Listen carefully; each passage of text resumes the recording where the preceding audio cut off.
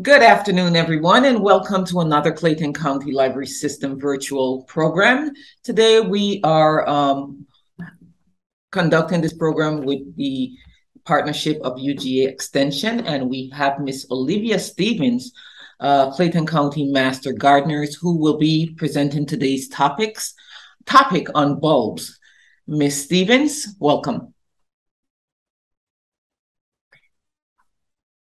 Thank you, Ms. Oliver. Today, I will strive to give you a few tips to ensure a colorful and glorious spring and summer in your yard and garden. In Georgia, Sergio, we have a wide variety of bulbs that grow well here. Most of the bulbs are grown for their lovely flowers, and some for their beautiful foliage, such as caladiums and elephant ears.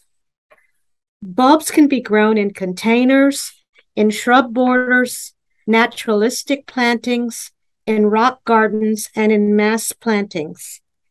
Bulbs offer a certain magic to the landscape, virtually unrivaled by other plants. So, what is a bulb? A bulb is a modified plant part that develops underground for food storage to ensure the plant's survival during adverse weather conditions. There are five types of bulbs the true bulb, corms, tubers, tuberous roots, and rhizomes. A true bulb consists of a short, fleshy, usually vertical stem axis bearing at the top of a growing point or a flower bud enclosed by thick, fleshy scales. There are two types of true bulbs the tunicate type, such as daffodils and tulips, and the non tunicate type, such as lilies. The tunicate bulbs have a paper like sheath, as you will see on hyacinths, tulips, flowering onion, daffodil, and iris. The imbricate bulbs do not have the papery sheath, and they consist of separate scales attached at the basal plate. Corms are have a swollen base of the stem axis enclosed by dry, scale-like leaves. In contrast to a true bulb, a corm is a solid stem structure with distinct nodes and internodes. Examples of corms are gladiolus bulbs, for example. Tubers and tuberous roots. A tuber is a swollen underground stem modified for food storage, with often nodes and buds along the surface. Tubers are similar to corms, except that tubers usually do not have the papery tunic. A tuberous root is an enlarged flesh, fleshy root modified as a storage organ with shoots produced at one end and roots produced at the other. The dahlia is a good example of a tuberous root. Rhizomes. A rhizome is a specialized stem structure structure in which the main stem of the plant grows horizontally or just below the soil surface. Rhizomes bear the same internal and external structure as true stems. An iris is an example of a rhizome. Where to plant my bulbs? Before you consider planting your bulbs, there are two very important things that you need to do. Number one, have your soil tested. This can be done by taking a soil sample to your local extension office. They will send it to UGA, and UGA will send you recommendations for amending your soil. In the absence of a soil test, you may add one to two pounds of 5 10 10 or 10 10 10 or 888 fertilizer to 100 square feet of your flower bed. The second thing is to take the time to design your bulb placement. Check out on the package the height of your bulb at flowering and the time it blooms to make sure that your tall flowers don't hide the lower ones. Where to plant my bulbs. Bulbs are beautiful planted under the canopy of trees, in pots and containers, in grassy areas, and mass plantings. There are several ways to plant flower bulbs, and the most popular is to simply dig a shallow hole using a trowel. Another way to create a more to create a more natural effect is to gently scatter your flower bulbs over your desired planting area, letting them land in whatever holes they find. Planting bulbs. Plant spring flowering bulbs in the fall. In Georgia, spring flowering bulbs can be planted from October through late December. Summer flowering bulbs are planted in the spring after the danger of frost has passed. The planting depth is the distance from the bottom of the bulb to the soil surface. And spacing will vary from one to two inches to as much as several feet. Plant your bulbs upright. Press the soil firmly around them to remove any air pockets. Rhizomes and tuberous roots are usually planted on their sides. Then water your beds thoroughly to help settle the soil.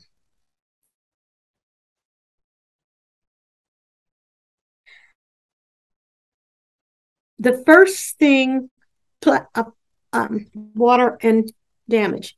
The first year you plant your bulbs, you do not need to fertilize because there are enough nutrients enclosed in the storage system. The next year, when the foliage turns yellow and dies back, you may sprinkle some fertilizer over them. A good fertilizer to use is 1055. Bone meal is no longer recommended because dogs may dig your garden looking for bones. Water and drainage. A simple test to make sure your soil is well drained is to dig a hole about 10 to 12 inches deep, fill it with water. The next day, fill it again and see how long it remains. If it drains in 8 to 10 hours, it's okay to plant your bulbs. Bulbs store water, and the rainwater is sufficient for your bulbs because most bulbs are drought tolerant. Make sure that your soil is well drained because bulbs can rot in damp soil. You may also use raised bed.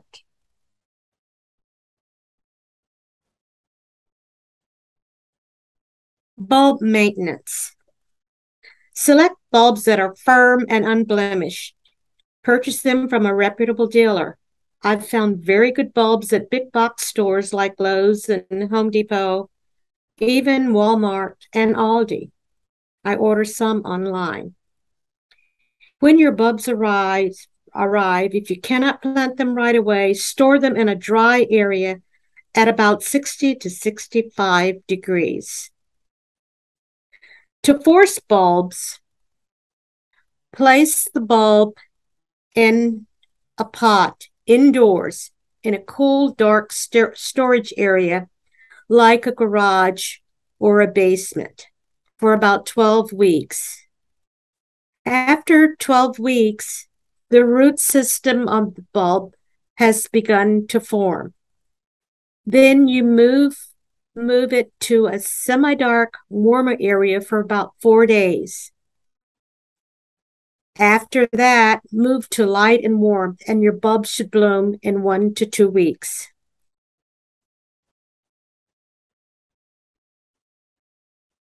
Problems with bulbs. If you notice that you have no flowers after you've done all of these other things, these are some of the problems that that you may notice. Your bulbs have been planted too deep, or your bulbs are immature, or the climate could be too cold or too hot. The bulbs could be overcrowded, or maybe they've been excessively fertilized, or the area where you've planted could be too damp and you've watered too much. Another reason is your soil could be too compact and it might need sand. Or you've inadequately stored your bulbs.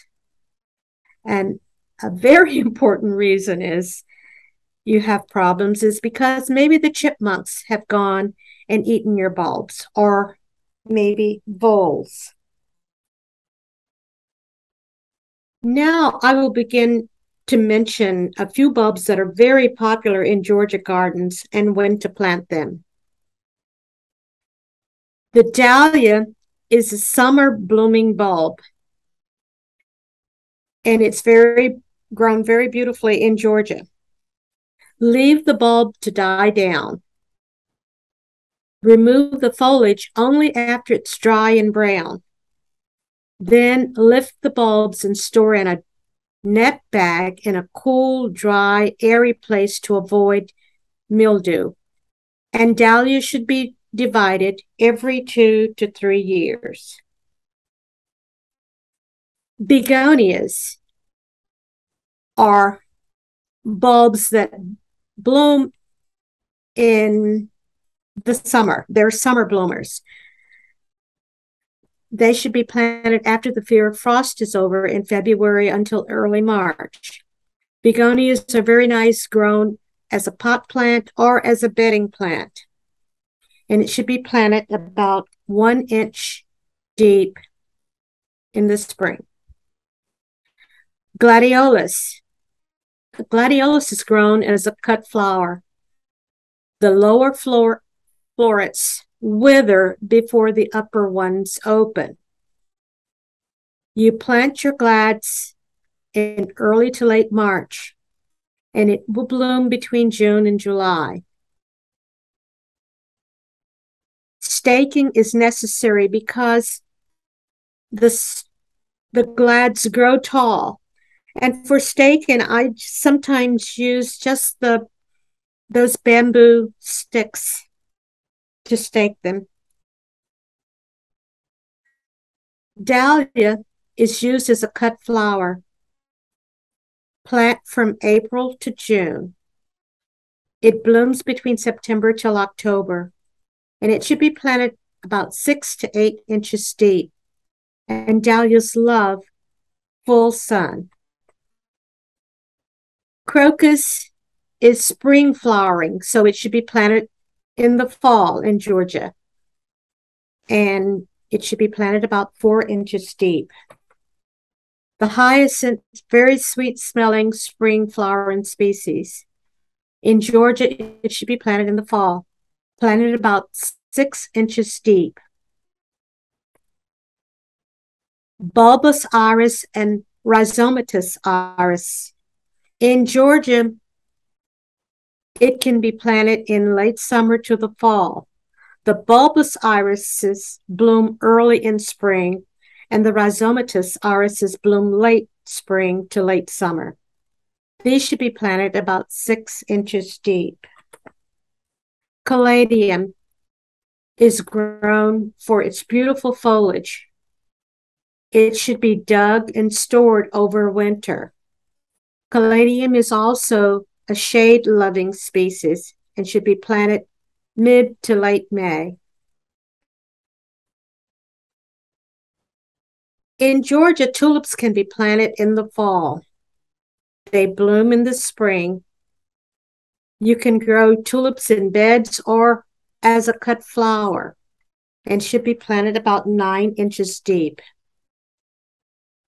In Georgia, a lily can be planted in the fall. Bloom times range from May to September. Excellent border plant and cut flower. and it should be planted about seven inches deep. The daffodil. In Georgia, the daffodil should be planted in late summer to the fall.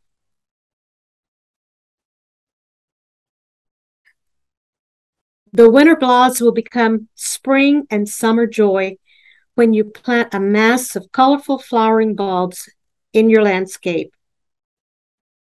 Are there any questions? I don't see any questions um, in the chat box, but just for um, information purposes for those who may not know, are there any edible bulbs that can be planted this time of the year? And what are they? Onions and garlic are edible bulbs. And when should those be planted? Again, this is for in individuals who may not know. Uh, I think in the fall, right? Fall is the best time. Right now is a good time to plant um, your onions. And you can even plant some onions in, in the early spring. Okay, thank you. Okay, thank you for that. And I don't see any questions at all in the chat. So I am hoping that this um, information was very um, informative for those who are going to be viewing the recording. I want to thank you, Miss Olivia, for presenting with us today. Thank you. Thank you, Miss Oliver. Have a great day. You as well. Thank you.